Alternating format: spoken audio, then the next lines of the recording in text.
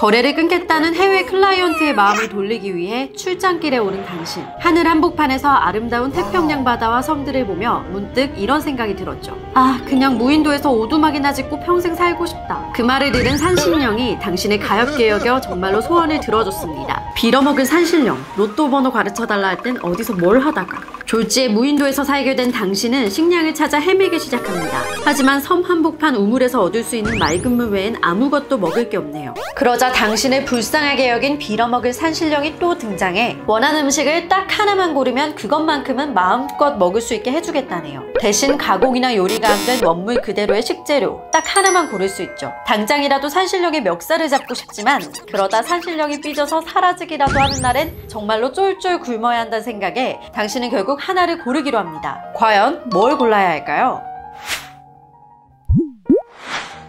부천대 식품영양학과 심선아 교수에게 자문을 구해봤습니다. 의학적으로 건강하냐, 건강하지 않느냐의 문제가 아닌 생존의 문제로 국한한다는 전제 아래 답변을 주셨죠. 하나의 음식만 평생 먹고 살아야 할 경우 가장 중요하게 따져봐야 할 것은 탄수화물, 단백질, 지방의 비율이라고 합니다. 이상적인 탄단지의 비율은 보통 5대 3대 2 정도죠. 이 비율이 심각하게 무너지면 에너지를 내거나 근육을 만들거나 체온을 유지하는 등의 필수적인 신체 활동이 원활하게 이루어지지 않고 심한 경우 목숨까지 잃을 수 있다고 하네요. 그 다음으로 중요한 것은 비타민과 필수 아미노산, 미네랄 등의 미량 영양소가 골고루 함유되었는지 여부입니다. 미량 영양소는 제대로 섭취하지 못할 경우 면역력에 이상이 생기고 각종 결핍증에 시달리게 되는데 체내에서 합성되지 않아 반드시 외부에서 섭취해야 하죠. 이런 조건들에 가장 잘 부합하는 식품은 과연 뭘까요? 계란? 우유? 쌀밥? 아닙니다. 바로 콩이죠. 종류에 따라 조금씩 차이는 있지만 콩의 탄단지 비율은 대략 4대 3대 3으로 이상적 비율인 5대 3대 2에서 크게 벗어나지 않습니다. 거기에 더해 각종 비타민과 식이섬유, 미네랄 또한 적절하게 함유돼 있어 인간 사료 one pick으로 꼽힐만 하죠. 그렇다면 콩만 섭취했을 때 문제는 없을까요? 물론 있습니다. 콩은 식물성 단백질로 구성되어 있어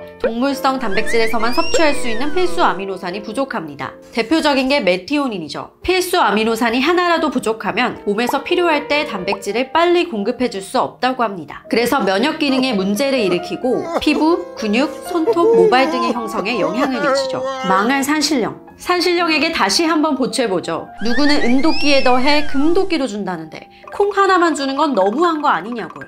만약 산신령의 마음이 움직여 하나의 음식을 더 고를 수 있다면 그때는 뭘 골라야 할까요? 심선아 교수는 그럴 땐 망설임 없이 동물성 단백질을 섭취할 수 있는 고기나 생선을 고르라고 하시네요. 그럼 평생 사는데 전혀 문제가 없을 거라고 단언하시면서요. 되레 현대인들의 엉망진창인 식습관보다는 차라리 이렇게 편중된 식단이 더 건강할 수도 있단 말도 덧붙였어요.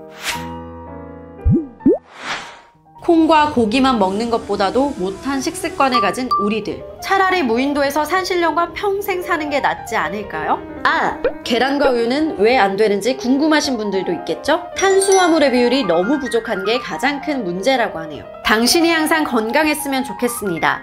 그리고 다음엔 더 재미있는 소식으로 찾아뵙겠습니다. 감사합니다.